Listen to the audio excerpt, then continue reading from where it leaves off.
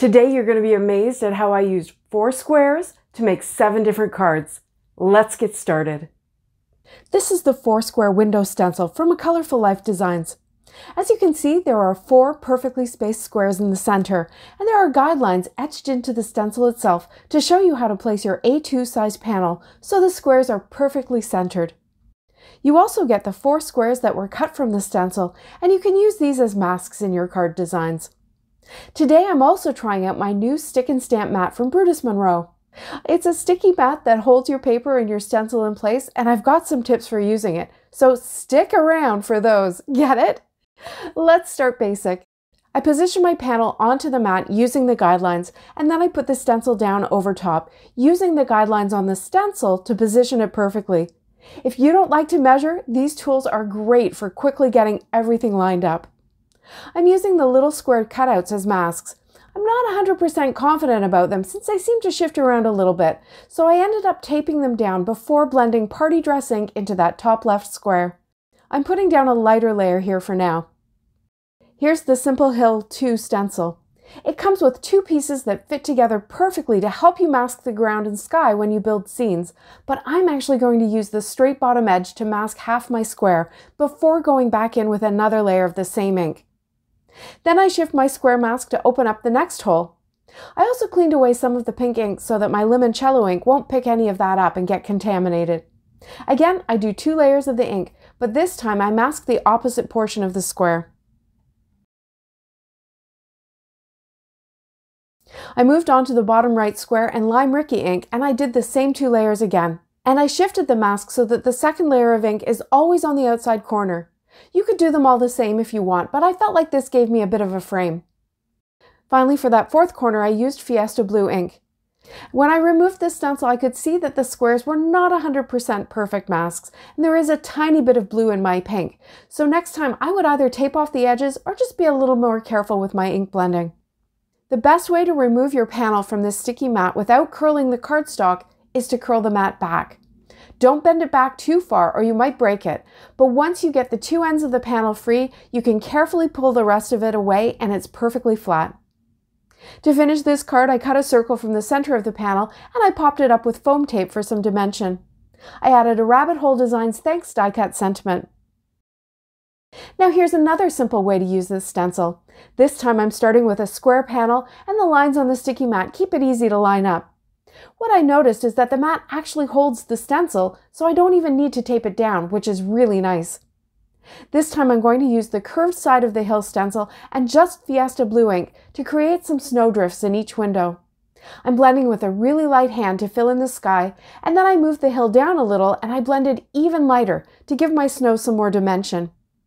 You can move the hill in whatever angle you want to get different looks, and you can flip the stencil over to get the reverse slope.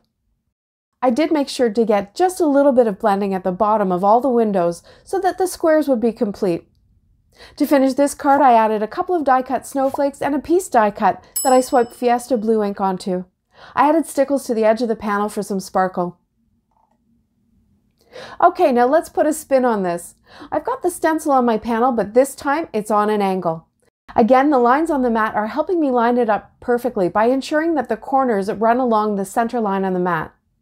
Now I don't know what I was thinking when I grabbed this acetate because we already know that the flat edge of that hill stencil works really well as a mask, but this does too. So if you don't have a stencil like that, using acetate is a great way to get a reusable straight edge mask. This time I filled in each square with a different color, again with that lighter first layer level of inking. While the stencil was still in place, I wiped off the ink around it, and then I laid the boho medallion stencil over top, any pattern stencil would work here, but I like the idea of a circular design so that I can put the center of the design right in the center of the four squares. Now this time I do need some tape because while the square stencil is stuck to the mat, the boho stencil will not stick to the square stencil. I didn't think to try my pixie spray because that's way over in my spray station, but let me know if you've tried pixie spray stencil to stencil and whether or not it worked. Now what I did was I blended the ink that was next to the square through. So the green square got blue on top, the yellow square got green, the pink square got yellow, and then the blue square got pink. Those four blends added four more colors to my color palette and gave the card a whole different look. To finish this card, I cut a circle from the middle of the design and then turned it so the squares lined up with the opposite side. I layered up three different daisies from a Jillian Vance design. If you look closely, the edges of each layer of petals lines up with the design elements. And I stamped a simple happy birthday sentiment. Okay, so now what if you want to use this stencil on an A2 card with six squares? Here's some easy tips for lining it up. Make sure your panel is lined up so you can see the center line both vertical and horizontal. Then line the stencil up so that the bottom row of squares is centered on that horizontal centering line, like this. Then blend the ink through. This time I'm going to do a continuous rainbow pattern. I start with yellow because it's my lightest color, then pink, not quite filling that bottom row. Then I cleaned and shifted the stencil so that the top row of the stencil is over the bottom row of ink blended squares, and then I blended blue ink and finally green ink. To finish this card, I added a black daisy die cut from Crafty Meraki and a heat embossed sentiment. I always think rainbow looks even better with a pop of black for contrast, don't you? Now what else can we do with this idea? This time I lined the squares up right at the top of the page and filled in the whole column with the same technique of shifting the stencil down. To make it go faster, I just eyeballed the spacing between the yellow and pink blocks, and that meant that I could do all four rows in two sessions of blending. But if you want absolute precision, you can overlap like I did in the last card and get that spacing exactly right. Once the four rows were blended, I went back and I placed the stencil down the same column, but at a different position horizontally, so the squares will overlap. Then I blended the color that wasn't in the squares, so when I see blue and yellow, I used pink, and so on. This gave me a full rainbow down these two stripes. You can position the stencil so that it's even like I did here, or you could get a fun look by placing it so that the stripes end up all being different widths. Now as it turned out, I didn't get them lined up exactly, so I trimmed them down into strips to clean up the edges, and I added them to the top and bottom of a piece of black cardstock for my card panel. I added a stacked up thank you from Waffle Flower.